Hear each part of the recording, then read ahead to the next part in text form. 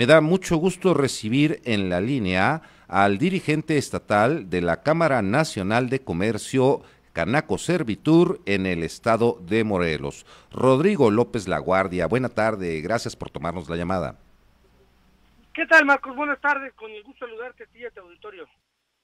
Eh, eh, Rodrigo, en, próximas fechas ya ingresarán, digo, no todos en la misma fecha, las escuelas públicas tienen un ingreso ya el próximo lunes, los eh, privados, los colegios y escuelas privadas tienen sus propias fechas de acuerdo a los calendarios que llevan, pero en general ya regresan la mayor parte de los estudiantes a las clases, ya regresan la educación básica, media, media superior. Y eh, si hay algún sector eh, que está directamente vinculado, que tiene el pulso de cómo se encuentra la situación económica de los padres de familia, de los comercios, pues es precisamente los que agrupa la organización que tú diriges, la Canaco. ¿Cómo ven este panorama? ¿Cómo ven este regreso a clases? Pues es un regreso a clases que ya no estábamos acostumbrados. Esta pandemia nos había traído pues, irregularidades en estos procesos. La primera es, pues con el cierre de las clases presenciales, prácticamente esos años eh, se, cambió la dinámica completamente.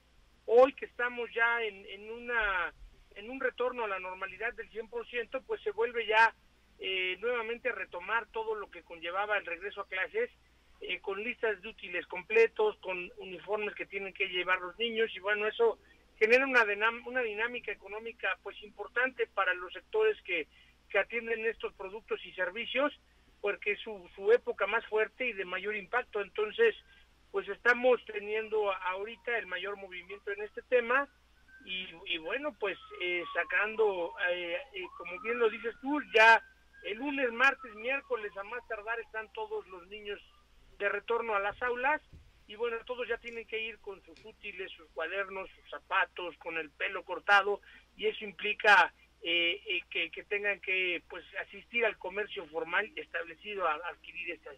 ¿Qué tanto?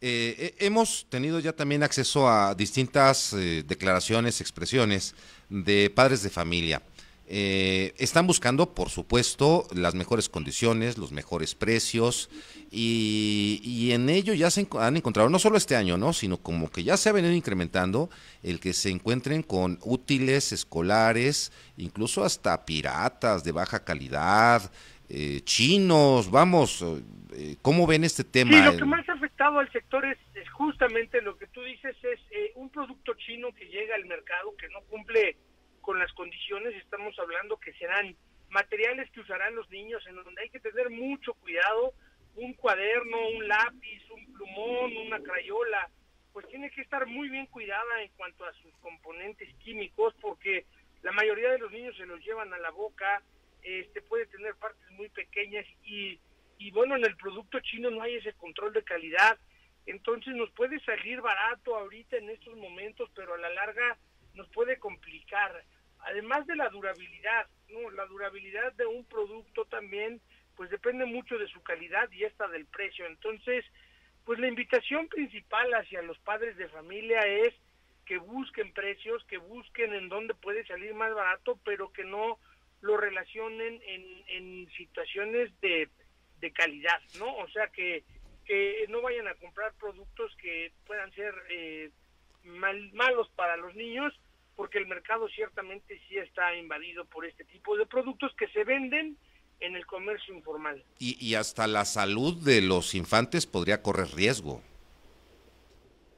Sí, claro, un producto que traiga plomo y el niño se lo chupe, pues ahí se, se complica demasiado el tema, ¿no? Bien, finalmente, eh, entendemos que el comerciante tiene responsabilidad eh, porque pues él tiene sus proveedores, compra, tiene que ser responsable de a quién le compra, qué tipo de producto eh, compra.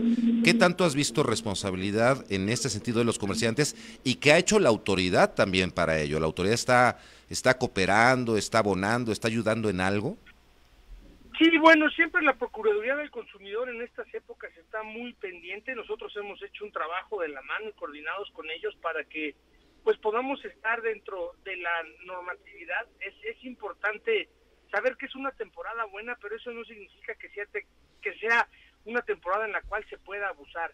El comprar en un comercio formal pues te da la garantía, te da la calidad y te da la oportunidad de regresar a ese comercio, inclusive te da este factura de, de ser necesario. Hoy muchos pueden deducir este tipo de, de situaciones y bueno, pues en un comercio formal puedes encontrar esta situación.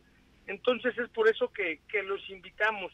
Y también pues que la autoridad puede estar pendiente en esos puntos en donde se venden este tipo de productos que no cumplen con la calidad. Hoy en día, pues básicamente en promedio, eh, la familia está gastando de 4 a 4 mil 500 pesos en, en, eh, en, la compra de útiles y cuadernos para los, para los alumnos y esto es un gasto considerable para la familia. Entonces, es importante que se haga con mucha responsabilidad.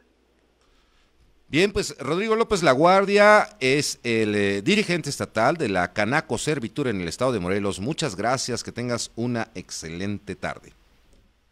Muchas gracias y saludos, estamos pendientes. Bien, pues mire, revelador este asunto, ¿no? El llamado es importante, el que hace la Canaco es no se vaya solamente por el precio, tome en consideración que por comprar barato, un producto chino podría poner en riesgo hasta la salud de sus hijos. Así de claro. Thank you.